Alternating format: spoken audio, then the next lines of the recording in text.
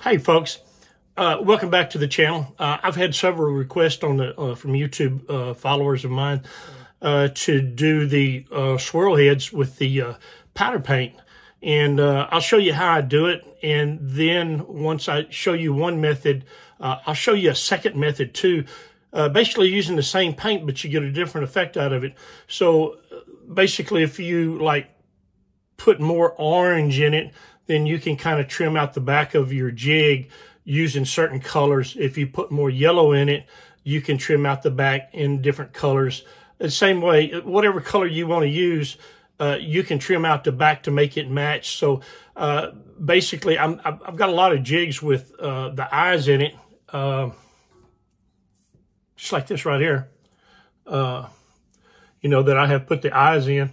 And that's all fine and good. I'll probably never stop making those because I really like them and they do catch a lot of fish. Uh, but when you're when you're powder painting uh, these jig heads, uh, this one right here, uh, it's it's also powder painted. Um, it's a it's a white gloss right there, and beautiful beautiful jig catches a lot of fish. This is probably one of my favorite ones right here uh, to catch fish on. Um, I'm down in Central Texas in the uh, Texas Hill Country and uh, man, it worked great. I, I live uh, right adjacent to Lake LBJ, and uh, the crappie and even bass like this a lot. So anyway, but what I'm going to do is I'm going to show you how to uh, paint these jig heads, and uh, some of these are going to have uh, the hooks on them, and some aren't. This is just going to be a quarter ounce round head right here. I found out that if you use the round heads versus Let's see what I've got here. Hang on, bear with me. Pill heads. Versus the pill heads, which are like this. The, uh, the round heads seem to work a little bit better because you can swirl the paint a lot easier. Uh, so it makes it makes a pretty good difference in there. But anyway, what I'm going to do is uh, I'm going to set the camera up and I'm going to get my powder paints out. Uh, I will be running a heat gun, so I'm going to have to talk over the top of that. Uh, so bear with me during the video. I'll, I'll talk as loud as I can, and hopefully you'll you'll hear everything uh, that I have to say about it. And then we'll swap up some paints and uh, do it another way. But anyway, uh, God, I hope you enjoy it. Uh, I have fun making them. So uh, let's get started. Okay, here we go. Uh, what I'm going to do is I'm going to heat up the head a little bit first. Kind of get a little heat going here. Now, this particular jig head has the wire keeper on it. So about three or four seconds, I'm gonna dip it and shake it. I'm gonna dip it and shake it. When I get down here to my yellow, just kind of hit it a little bit. Then on my black, do the same thing. Don't want a whole bunch. Don't want enough to cover it. And then what I do, excuse me, is I go back to my heat gun. I heat it up again.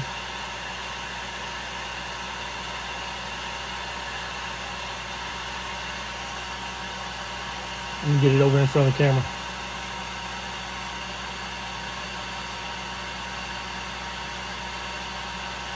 And you just take a swirl. Excuse my hands are shaking. There you go. You can just kind of run it around there. Uh, pull it away. And then it's still kind of rough on the head. So what you do is you put it back over the heat.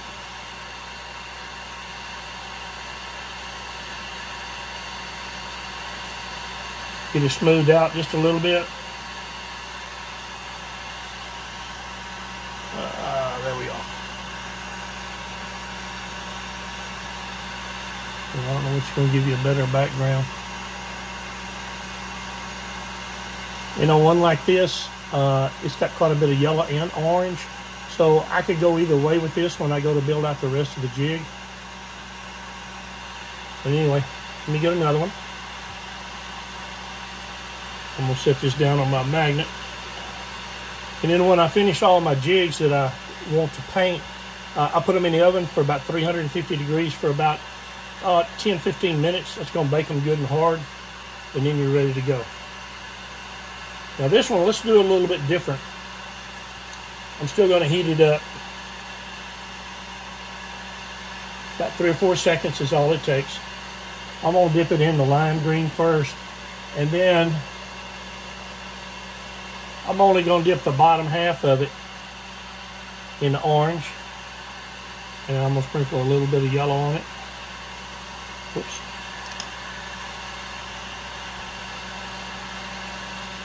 Crap, I can't find my camera. There. A little bit of black. Going to reheat.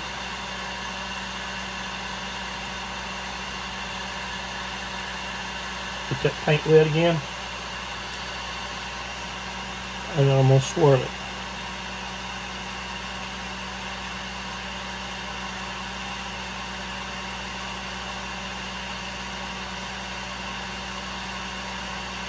There we go. Got some good black lines in there, some orange going on. I'm going to reheat it uh, to take the lumps out.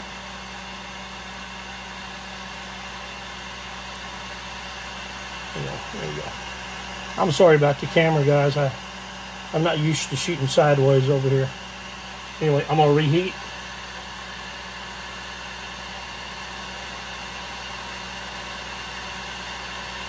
Get it smoothed out.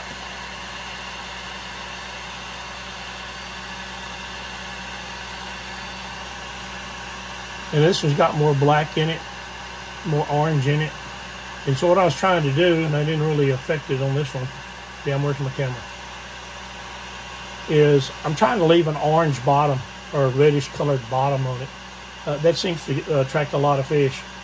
So Anyway, I'm gonna put this one over on the magnet and let it set for a minute. And we'll grab another one.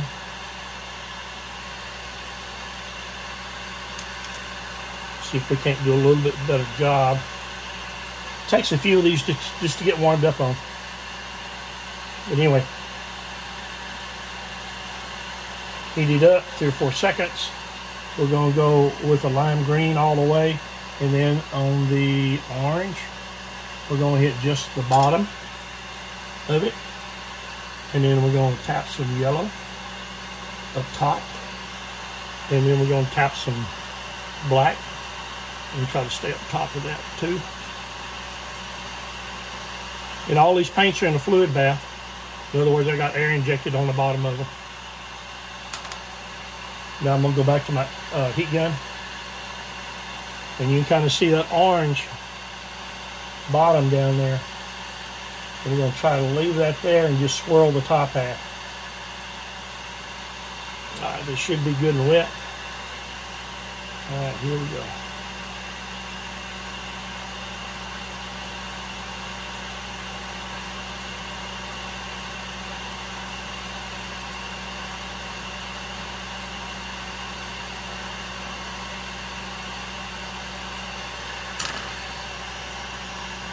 Go.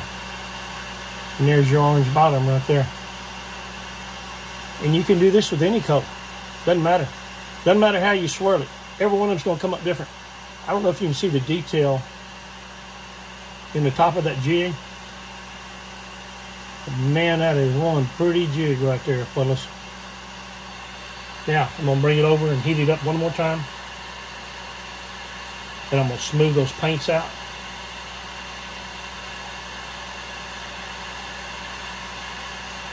I'll do it. One last look at it. There's your orange bottom. There's your colored top.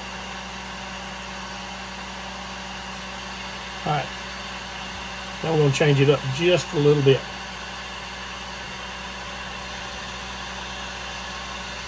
Let's do one more.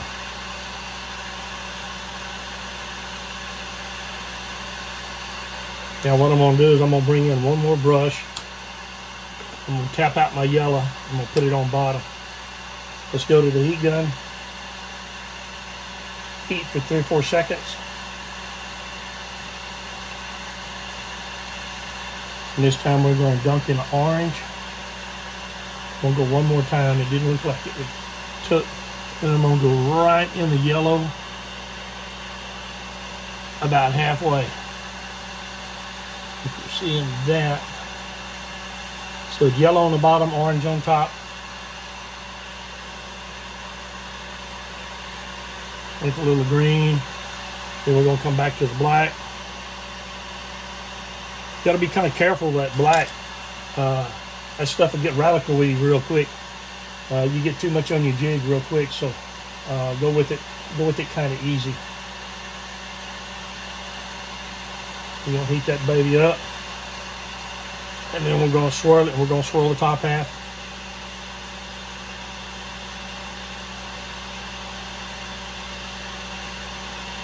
I just kind of make circles around mine. Uh, other ways of doing it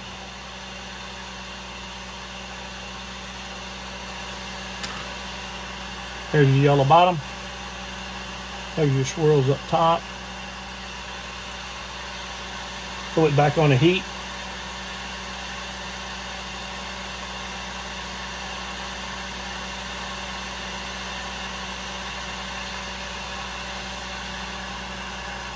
There you go. Bada bing, bada boom. It's good. All right, let me set this one down you kind of got to be careful with your eyes uh, on these jigs. Uh, make sure that no paint gets stuck in your eyes. If you do, you need to clear that out. Uh, preferably when it's wet uh, before you stick them in the oven. If not, what I do is I heat up these tips right here and I stick them in the eyelet. if they're baked and I miss one or something, uh, I'll, I'll just go ahead and heat this tip up and run it through and clean it out. And I also, most of the time, I leave paint on the end of my end of my stick right here. Uh, you don't have to. If you want a finer line, a finer mix, just peel this stuff off. It comes right off. And do it. And another thing, um, to get a different swirl look on there, instead of swirling it in a round motion like this, what you can do is you can take it from the front and drag it back, drag it back, drag it back and drag it back. That kind of gives it like a racing stripe look to it. But uh, anyway, that'll give you some idea of what I'm talking about. Anyway, uh, I hope you enjoyed that. Um, a lot of people have been asking for it. If y'all have any questions, put them down in the comments below. Uh, the powder paint that I'm using, um, some of it came from Eastwood. Uh, some of it has come from Barlow's Tackle. Excuse me. these I picked up, I think, at the Hobby Lobby or someplace like that. I am running fluid beds uh, in my paints where, uh, yeah, they're kind of sloshing around in there because I got air blowing in. Just a little aqua uh, air bubbler is, is all that is. And uh, excuse the jiggling of the camera today. I, I don't have my big uh, tripod with me, but uh, let me get this turned off or we can talk. But anyway, like I said, if y'all have any comments, put them down in the comment section below.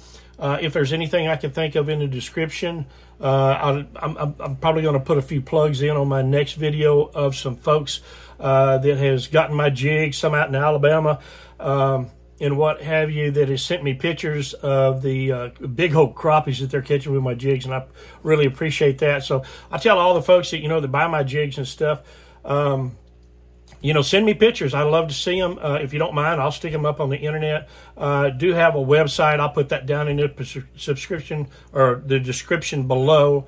Uh, and it's kind of like a El Cheapo website. You can only put just a few items up on there.